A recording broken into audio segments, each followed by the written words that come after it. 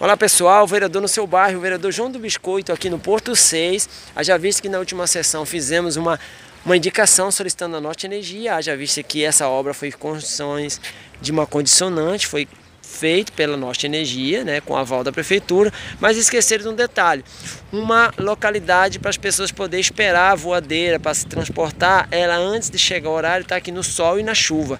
Então é essa sugestão que a gente está dando aqui à Norte Energia. Se a Norte Energia não puder fazer, que através da secretaria competente, nosso prefeito, doutor Dino Juninho, possa dar ordem de serviço para fazer aqui uma cobertura, que inclusive poder ser nesses locais aqui, né? Pessoas ficar sentadas, esperando, protegido do sol e da chuva. Vereador no seu bairro, vereador aqui no Porto 6, através do poder representativo, fazendo nosso papel. Um grande abraço e unidos sempre seremos mais fortes.